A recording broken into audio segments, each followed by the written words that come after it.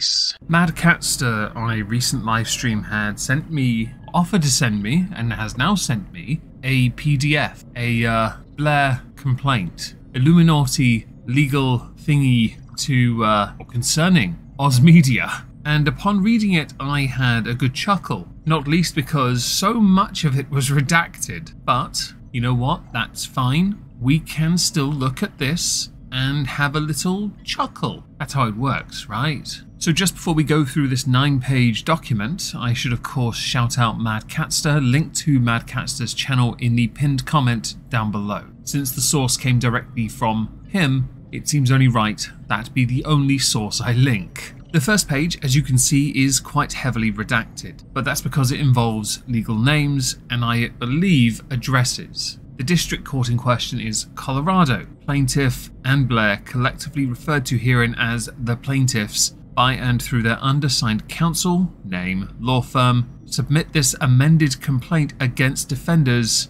There's a few. I'm assuming Oz Media is one of these. It would make some sense. 1. Plaintiff is a Colorado Limited Liability Company, LLC, with a principal office mailing address. Obviously, we don't share doxes. 2. Plaintiff, Blair, is an individual residing in the state of Colorado. For them, plaintiffs own and operate a popular YouTube channel. The word popular is a bit of a misleading remark at this point. You get about as many views as I do, and my channel's not even a tenth of the size of yours. That's embarrassing, isn't it? Although I think I might be on more views this month than you. Flex dab!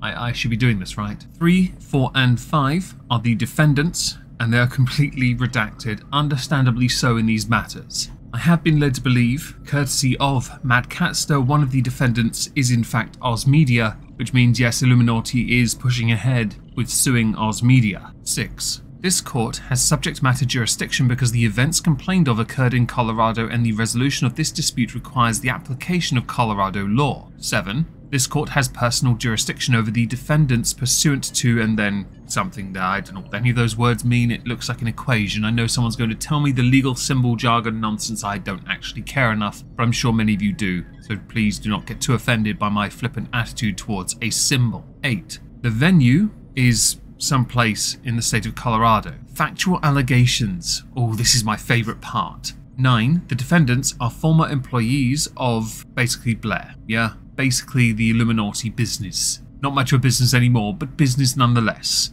10. Defendant signed a confidentiality agreement on the 2nd of June 2021. All employees sign these. So 11 and 12 signed theirs on the 4th of October and the 5th of May 2021. Collectively, the redacted agreement will be referred to herein as necessary as the agreements in capital. 14. All the defendants' confidentiality agreements contain language pertaining to the employees understanding that by entering into the confidentiality agreement, they are obliged to, and the plaintiff's goal is to protect its confidential propriety information and ensure that all employees agree to maintain the confidentiality of blank information. I know nothing of any of this, just to be clear, but I do want to point out this is not going to save iilluminaughtii's channel. Compensation is possible and everyone is destroyed at the same time, but it still won't change. The iilluminaughtii channel is dead. 15. Defendant Blank and Miss Blank, Blair I'd assume, began a romantic relationship in or around May of 2020 and began living together in defendant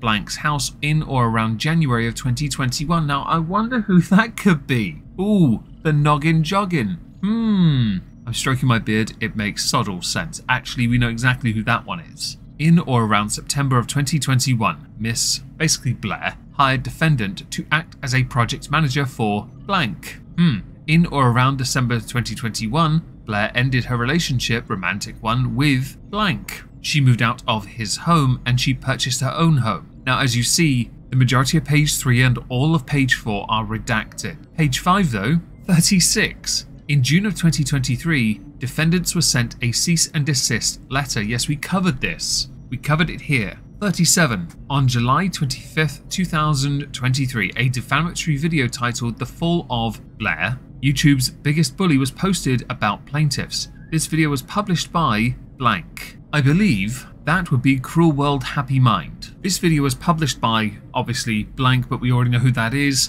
In that video, defendants speak publicly about their intent to publish another defamatory video about Blair. 38. On or about the 16th of September, defendant blank released a video titled Let's Talk an Update on iilluminaughtii Drama. That would definitively be Oz Media. In this publication, Oz Media speaks to how he believes that the video will be used in a courtroom and includes false allegations of theft. They're not false though, everyone knows that. 39. Prior to defendant blank moved to Colorado in or around May of 2021, Blair purchased a car that she allowed him to use as his own. The car under the assumption that he would repay those funds, to which Blair and the defendant agreed and understood to be a loan prior to her transferring title to him. 40. In or around the latter part of May 2021, plaintiffs hired defendant blank. However, defendant blank violated multiple blank policies, despite performing none of his job functions. Mr. Blank was paid throughout his time at blank. 41. Despite agreeing to make payments on and keep the car in blank Colorado,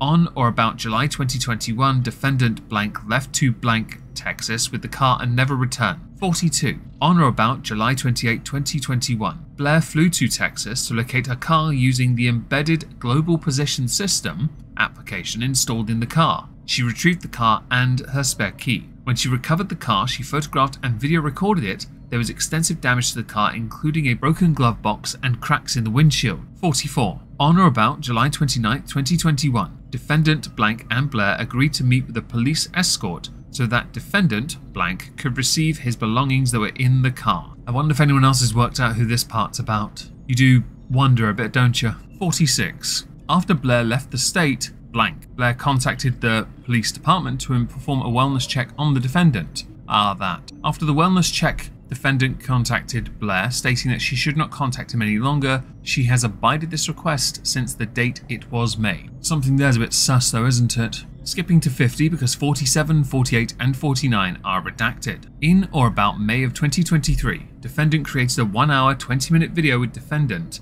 where both defendants make the following claims that Blair stole the car, Blair committed wage theft, when in reality, she deducted taxes out of his earnings and other claims. During the video, both defendants openly state that they are aware of the NDA language of their agreements. After the video was produced, Blair sent a cease and desist letter to the defendant. He reacted by starting a GoFundMe page seeking money to pay for legal fees. Yes, and Oz Media did a lot of fundraising and smashed it very quickly because it turns out no amount of NDA will prevent the public from knowing that you're a crappy person. No amount of NDA will deny them their right to speak. I, of course, fully understand the legal consequences. I really do. If an NDA was in effect, of course, there is a problem and they're going to have to deal with that in a courtroom. But the information is now out there. You haven't refuted any of this. You've spoken about iilluminaughtii has about openness and transparency, but then the first thing that she did was send cease and desists. That didn't reek of, oh,